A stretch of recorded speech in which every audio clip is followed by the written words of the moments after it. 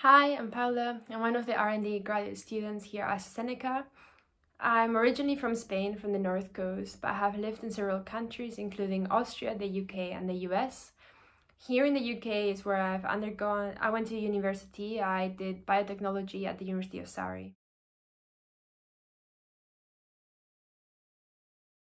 So what prompted me to do a graduate placement in the pharmaceutical industry? Well, I've always uh, really enjoyed learning about the human body and disease and how to learn how to fight disease in order to then contribute back to humanity. This is uh, one of the main reasons, as well as the fact I've always worked in academia and I wanted to see more the industry like side of the research uh, in the sector. So as I mentioned, I really enjoy learning about the human body and how to fight disease and treat it. So that I found this a very exciting opportunity uh, to take part in. Moreover, this particular program consists of three different placements, each of which uh, is eight months long. And I think this is a great opportunity in order to try different areas and find which one suits, uh, suits you best so you can take part of um, different areas about different research and it's a great uh, opportunity to see what the company is doing and get a better understanding of and a wider scope of the company's intentions.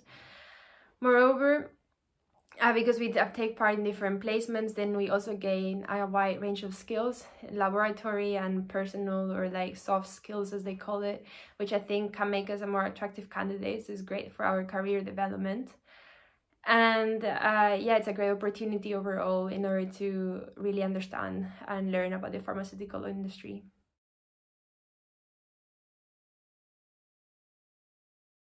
So what's my day-to-day -day like? Well i'm mainly lab-based uh, so it really depends.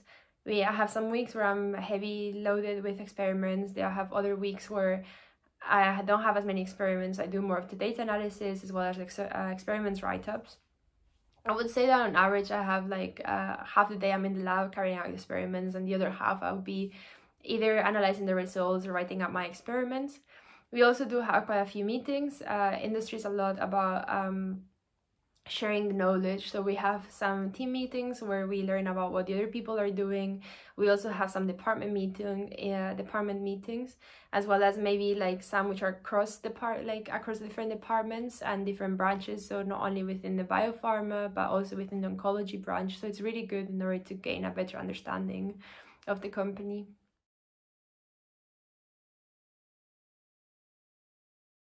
So how's COVID-19 pandemic affected uh, displacement? Uh, if I'm honest, uh, I just joined in September 2021, so just a little less than a year ago. And ever since the restrictions have been uh, getting eased, like have been lifting up. So initially it was a bit stricter. We didn't have to wear masks at work. We didn't have any face-to-face -face meetings. It was all virtual despite all being um, sitting down there in the office and we had to keep our distances as well in the workspace. However, ever since spring, uh, the restrictions have been slowly lifting up. We've had more uh, socials well, we've been able to meet our colleagues and do some networking, which is great in order to expand your network as well as to learn um, more from other people. And we also have face-to-face -face team meetings, which I find very beneficial because it's easier to take all to ask questions uh, than online and to learn more.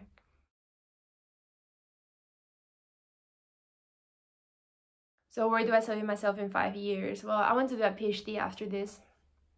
And then I, am hoping that I could come back to the company as a scientist or senior scientist or perhaps uh, pursue a similar role uh, elsewhere.